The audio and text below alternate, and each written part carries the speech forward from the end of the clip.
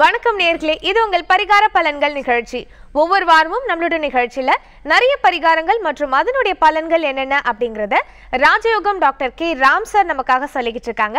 அந்த வகையில இன்றைக்கும் நிறைய பரிகார பலன்கள் மற்றும் ஆன்மீக ரீதியா நிறைய விஷயங்களை பத்தி சார் கிட்ட கேட்டு தெரிஞ்சுக்க போறோம். சார் நம்ம நிகழ்ச்சிக்கு வரவேற்றிடலாம் வணக்கம் சார் ஓம் தத்புருஷாய வித்மகே வக்கரதுண்டாய தீமகி தன்னோ தந்தி பிரச்சோதயாத் ஓம் ஆதித்யாயஷ சோமாய மங்களாய புதாயஷ குரு சுக்கர சனியப் யட்ச ராகவ கேதவ நமக.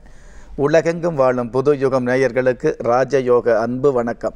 நிகழ்ச்சியை பார்த்துக்கிட்டு இருக்கிற உங்களுக்கு குலதெய்வ ஆசையும் நவகிரக அனுகிரகமும் முழுமையாக கிடைக்கணுங்கிற பிரார்த்தனையோடு உங்கள் ராஜயோகம் டாக்டர் கே ராம்.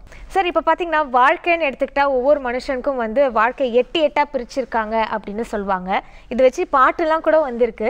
ஸோ அந்த மாதிரி இப்போ ஒருத்தருடைய ஜாதகம்னு எடுத்துக்கிட்டா வந்து நிறைய கட்டங்கள் இருக்கு. அதில் எட்டாம் இடத்துல பார்த்தீங்கன்னா வந்து எந்த கிரகம் இருந்தாக்கா ஒருத்தருடைய வாழ்க்கையில் யோ யோகங்கள் வரும். அதை பற்றி சொல்லுங்கள் சார். பொதுவாகவே சாஸ்திர ரீதியாக ஒருவருடைய ஜாதகத்தில் சுபஸ்தானம் என்று சொல்லக்கூடிய இப்போ வந்து இரண்டு நான்கு ஐந்து ஏழு ஒன்பது பதினொன்று இந்த மாதிரி ஸ்தானங்களில் வந்து சுபகிரகம் இருக்கும் பொழுது அது நன்மையை செய்யுங்கிற விதி இருந்துகிட்டு இருக்குது ஆனால் அந்த கிரகம் அந்த ஜாதகருடைய லக்னத்துக்கு சுபராக இருந்துகிட்டு இருக்கணும் ஒரு சில கிரகங்கள் வந்து ஒரு சில ஜ லக்னத்துக்கு வந்து சுபராக இருக்கும். ஒரு சில கிரகங்கள் வந்து ஒரு சில லக்க லக்னத்துக்கு வந்து பாவியாக இருந்துகிட்டு இருக்கும் இன்னும் ஒரு சில லக்னங்களுக்கு ஒரு சில கிரகங்கள் மாரகாதிபதியாக இருந்துகிட்டு இருக்கும் அப்படி இருக்கும் பொழுது அது அந்தந்த ஜாதகத்தை பொறுத்து லக்னத்தை பொறுத்து செய்யக்கூடிய பலன்களில் மாறுபடும். அப்படி இருக்கும் பொழுது பொதுவாகவே ஒருவருக்கு வந்து நல்லது செய்யக்கூடிய கிரகம் எது எந்த இடத்துல இருக்கணும் அப்படிங்கிறத வந்து மேலோட்டமாக பார்த்தோம் அப்படின்னா பொதுவாகவே பாப கிரகம்னு சொல்லக்கூடிய இந்த சூரியன் அதாவது தேய்பிரை சந்திரன் சூரியன் ராகு கேது இந்த மாதிரியான கிரகங்கள்லாம் வந்து பார்த்தீங்க அப்படின்னா அதாவது பாப கிரகமாக சாஸ்திரத்தில் கொடுத்துருக்குது. இந்த மாதிரியான பாப கிரகங்கள் அதாவது தேய்பிரை சந்திரன் சூரியன் ராகு பகவான் கேது பகவான் இந்த கிரகங்களெல்லாம் வந்து ஒருவருடைய ஜாதகத்தில் லக்கணத்துக்கு மூன்று ஆறு பதினொன்று அந்த மாதிரி கெட்ட ஸ்தானங்கள். ஏன் மூணு ஆறு பதினொன்று அப்படின்னா மூன்று ஒரு ஜாதகத்தில் மூணு ஆறு பதினொன்று அப்படிங்கிறது மறைவு ஸ்தானங்கள். எட்டும் அப்படித்தான். மூணு ஆறு எட்டு பதினொன்று இந்த ஸ்தானங்கள் எல்லாம் ஒரு ஜாதகத்தில் எந்த ஜாதகமாக இருந்தாலும் எந்த லக்கணமாக இருந்தாலும் உங்களுடைய லக்கணத்துக்கு மூன்று ஆறு எட்டு பதினொன்று இந்த ஸ்தானங்கள் வந்து மறைவு ஸ்தானங்களை சொல்லியிருக்கு. இந்த மறைவு ஸ்தானங்களில் வந்து இந்த பாவகரங்கள் இருந்தது அப்படின்னா உங்களுக்கு நிறைவான பலன் கிடைக்கும் அப்படிங்கிற விஷயத்தையும் சாஸ்திரம் சொல்லியிருக்கு. ஏன்னா பாபர் அப்படிங்கிறது கெட்டது. இந்த கெட்டவன் இந்த ம ம- மறையிற ஸ்தானத்தில் அதாவது இந்த மூணு ஆறு எட்டு பதினொன்றில் மறைஞ்சாருன்னு வைங்களேன் அப்போ கெட்டவன் கெட்டிடில் கெட்டிடும் ராஜயோகம் அப்படிங்கிற அமைப்பில் வந்து ஏதாவது ஒரு வகையில் உங்களுக்கு செல்வம் அல்லது வந்து நிறைவான ஒரு அமை அமைப்பு அல்லது மகிழ்ச்சியான ஒரு சூழ்நிலைகள் இந்த மாதிரியான சுபகாரியங்கள் நடத்தி கூட காட்டக்கூடிய ஒரு பக்குவத்தோடு இந்த கிரக இருந்துகிட்டு இருக்கும். ஆனால் எந்த கிரகமாக இருந்தாலும் அது மறைவு ஸ்தானமாகவே இருந்தாலும் எட்டாம் இடத்துல ஒரு கிரகம் இருந்தது அப்படின்னா கண்டிப்பாக அது நட்டம் அப்படிங்கிற விஷயத்தை நம்ம தெரிஞ்சுக்கணும். அது கெட்ட கிரகம் எட்டாம் இடத்துல இருந்தது அப்படின்னா ராஜ தண்டனை சிறைவாசம் போகக்கூடிய அளவுக்கு கூட தேவையில்லாத பஞ்சாயத்து ஏற்படும். அதுவே சுப கிரகமாக இருந்தது அப்படின்னா தேவையில்லாத அவமானம். நம்ம நல்லவராக இருப்போம். அதாவது வீடு தேடி வில்லங்கம் வர்ற மாதிரி இருந்துகிட்டு இருக்கோம். நம்ம கம்முன்னு இருப்போம் பேசாமல் இருப்போம். ஏதாவது ஒரு வகையில் தேவையில்லாத வில்லங்கம் வரும். யாராவது ஒருவருக்கு போனால் போதுன்னு ஒரு உதவி செய்வோம். அது பெரிய வில்லங்கமாக வந்துட்டு இருக்கும்.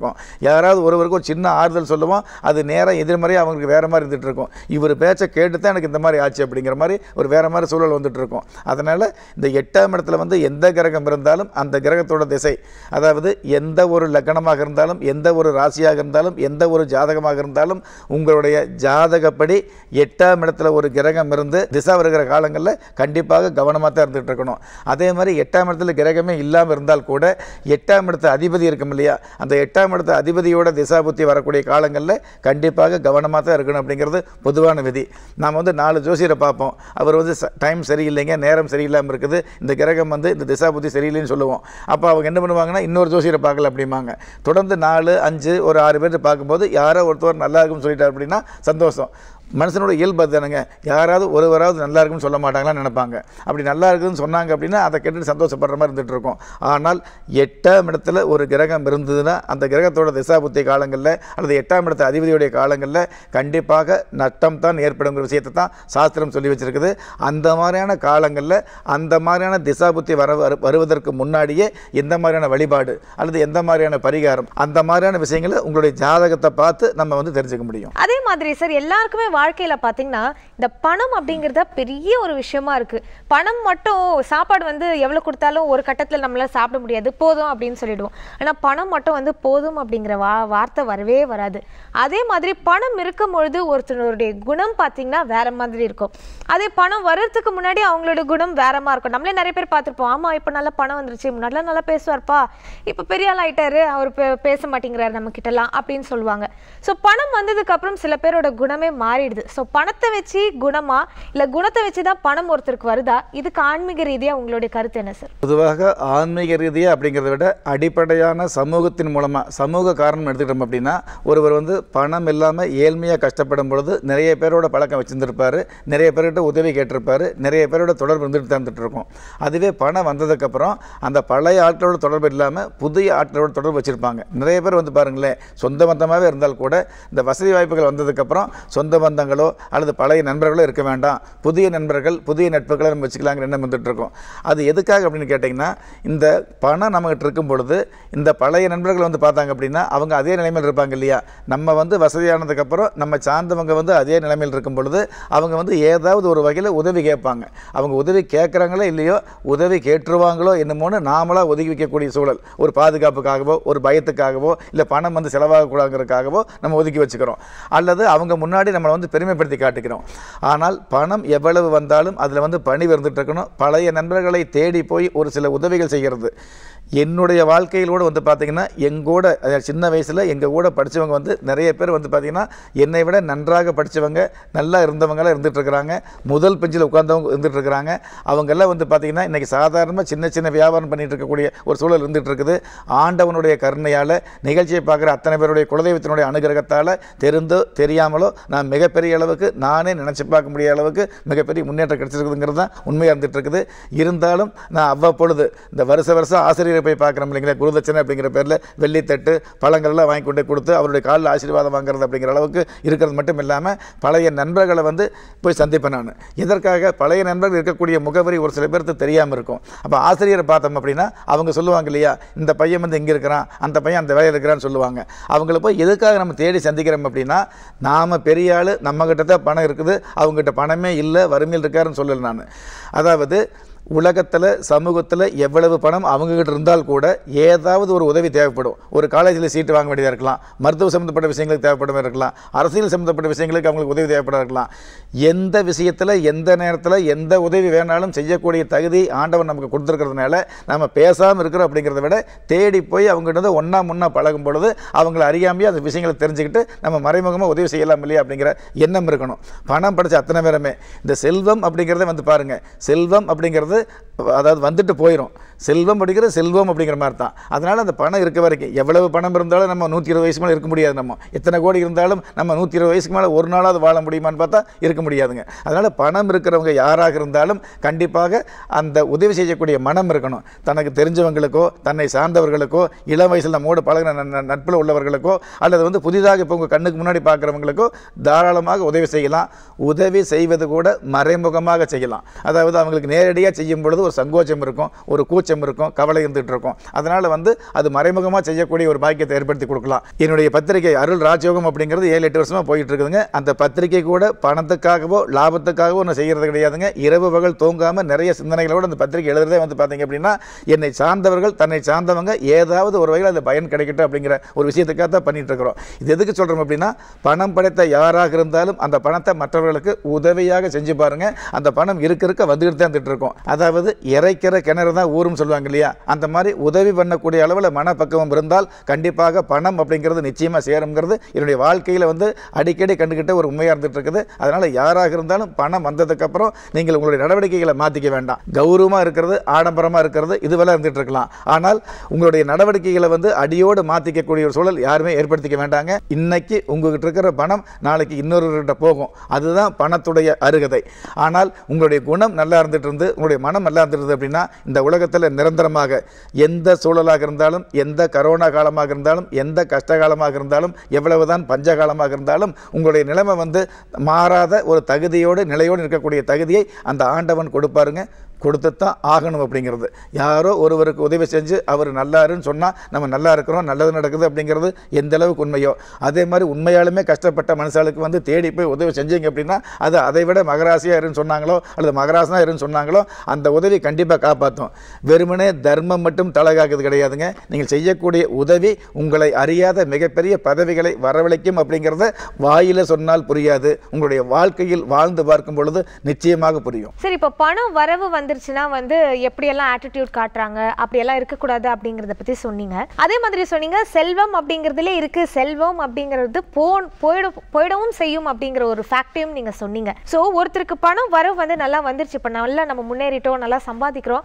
ஆனால் அந்த பணத்தை எப்படி தக்க வச்சுக்கணும் சார்? அதுக்கு என்ன பண்ணணும் சார்? நிறைய பேருக்கு பணம் வர வரைக்கும் ஒரு கஷ்டமாக இருந்துட்டு இருக்கும். அந்த பணம் வந்ததுக்கப்புறம் அதிர்ஷ்டம் இருக்குமான்னு வந்து பார்த்தீங்கன்னா அந்த பணத்தை காப்பாற்றுறதுக்கு ஒரு கஷ்டமாக இருந்துட்டு இருக்கும். தன்னுடைய தகுதியை வந்து மிகப்படுத்தி காட்டிக்கிறது. பழைய நண்பர்களுக்கு முன்னாடி முன்னாடியே பழைய சொந்த பந்தங்களுக்கு முன்னாடி நம்ம பெருமையாக இருக்கிற மாதிரி தன்னுடைய தகுதியை மிகப்பெரிய அளவுக்கு மிகப்படுத்தி அதை ஆடம்பரமாக காட்டிக்கிறது அல்லது ஆணவமாக காட்டிக்கிறது. இந்த மாதிரியான ஒரு சூழல் நிறைய பேருக்கு இருந்துகிட்டு இருக்கும்.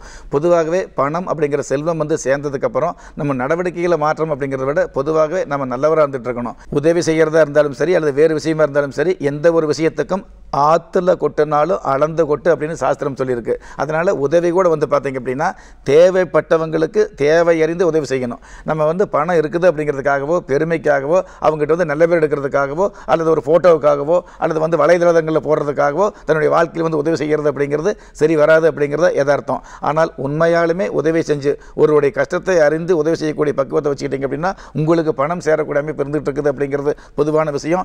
இந்த தர்ம தேவதையாக இருந்தாலும் சரி தன தேவதையாக இருந்தாலும் சரி நம்ம வந்து பணம் வந்ததுக்கப்புறம் இரும்பு பெட்டிக்குள்ள வச்சு பூட்டினதுனால நமக்கு சேர போகிறது கிடையாதுங்க.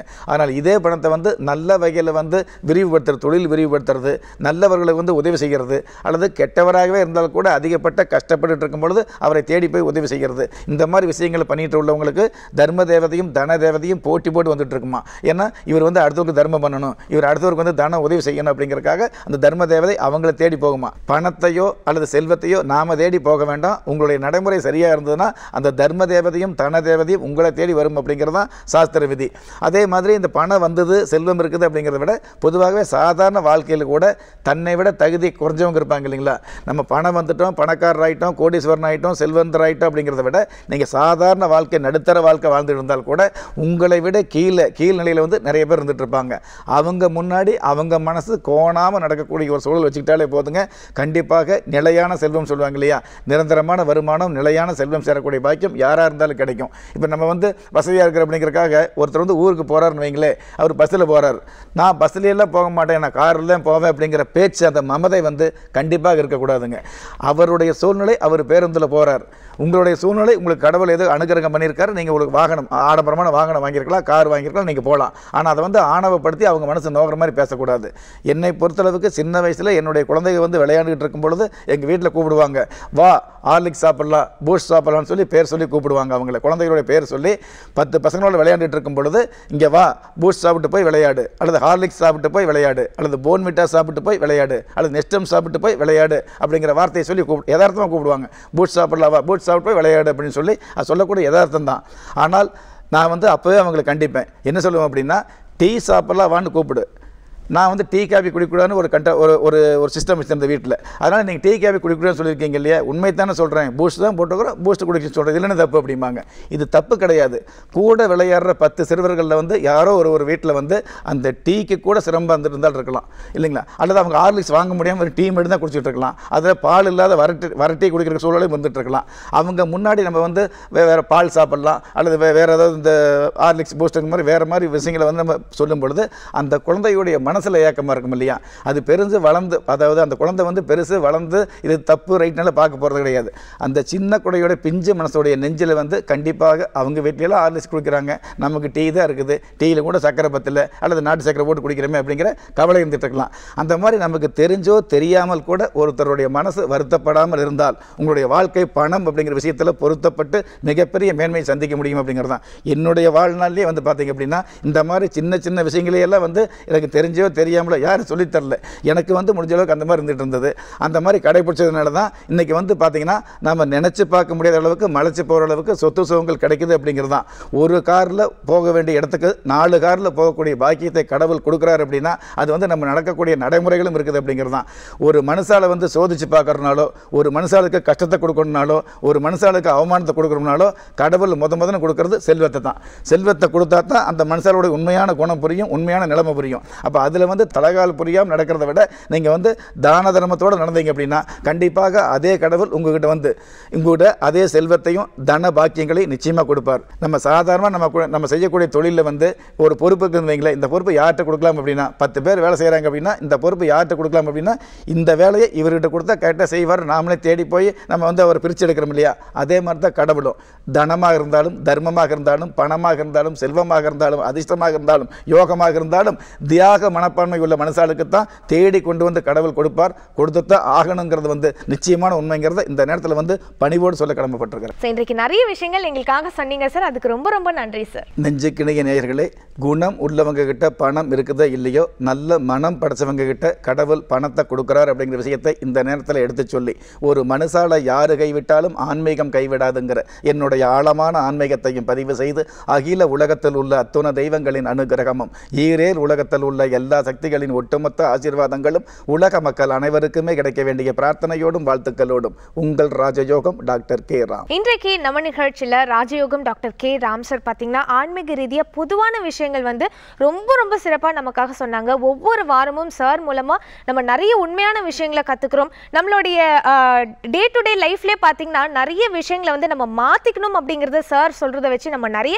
நல்ல விஷயங்களுக்கு வந்து பழகிக்கிறோம் அப்படின்னு தாங்க சொல்லணும். ஸோ அந்த வகையில் நிறைய பேர் வந்து பார்த்தீங்கன்னா ராஜயோகம் டாக்டர் கே. ராம் சாரை சந்திச்சு இல்லை தொலைபேசி மூலமாக அட்லீஸ்ட் வந்து அவர்கிட்ட உங்களுடைய ஜாதகத்தை பற்றி சொல்லி அதில் இருக்கக்கூடிய பலன்களை பற்றி கேட்டு தெரிஞ்சுக்கணும் அப்படின்னு சொல்லிட்டு நீண்ட நாளாக நீங்கள் எல்லாருமே வந்து காத்துக்கிட்டு இருக்கீங்க. மேபி அதுக்கான வழிமுறைகள் கூட உங்களுக்கு தெரியாமல் இருக்கலாம். எப்படி சார் கிட்ட பேசலாம் அப்படின்னு பார்த்தீங்கன்னா உங்களுடைய டிவி ஸ்க்ரீனில் இரண்டு நம்பர் வந்து ஸ்க்ரால் ஆயிட்டு இருக்குங்க. அந்த இரண்டு நம்பரில் எந்த நம்பருக்கு வேணும்னாலும் நீங்கள் கால் பண்ணி முதலாவது அப்பாயின்மெண்ட் வாங்கணும். அப்பாயின்மெண்ட் வாங்கினதுக்கு அப்புறமா தொலைபேசி மூலமாகவே சார் கிட்ட உங்களுடைய ஜாதகத்தை பற்றி சொல்லி அதில் இருக்கக்கூடிய பலன்களை பற்றி நீங்கள் கேட்டு தெரிஞ்சுக்கலாம். அந்த அப்பாயின்மெண்ட் நம்பர்ஸ் என்னென்ன அப்படிங்கிறத நானும் ஒரு முறை சொல்கிறேன் நோட் பண்ணி வச்சுக்கோங்க. முதல் number double nine four zero four three one three double seven அடுத்த number double nine five two double nine triple one eight இந்த ரெண்டு நம்பரில் எந்த நம்பருக்கு வேணும்னாலும் நீங்கள் கால் பண்ணி முதலாவது அப்பாயின்மெண்ட் வாங்கணும். அப்பாயின்மெண்ட் வாங்குறதுக்காக மட்டும்தாங்க இந்த இரண்டு நம்பருமே. உள்ளூரில் இருக்கிறவங்களுக்கும் சரி வெளிநாட்டில் இருக்கிறவங்களுக்கும் சரி சேம் ப்ரொசீஜர்ஸ் தாங்க. அது மட்டும் இல்லாமல் ஆஸ்ட்ரோ த்ரீ சிக்ஸ்டி நிகழ்ச்சி இது வரைக்கும் தினம்தோறும் காலை எட்டு மணிக்கு ஒலிபரப்பாகிட்டு இருந்தது. ஆனால் இப்போ நேரம் மாற்றப்பட்டு திங்கள் முதல் வெள்ளி வரை தினம்தோறும் காலை ஒன்பது மணிக்கு ஒலிபரப்பாகுது அதே மாதிரி பரிகார பலன்கள் மற்றும் வார ராசி பலன்கள் நிகழ்ச்சியும் பார்த்தீங்கன்னா சனி மற்றும் ஞாயிற்றுக்கிழமை காலை ஒன்பது மணிக்கு ஒலிபரப்பாகுது தவறாம பாருங்க. மீண்டும் அடுத்த வாரம் நிகழ்ச்சியில சந்திக்கலாம். அதுவரை நன்றி வணக்கம்.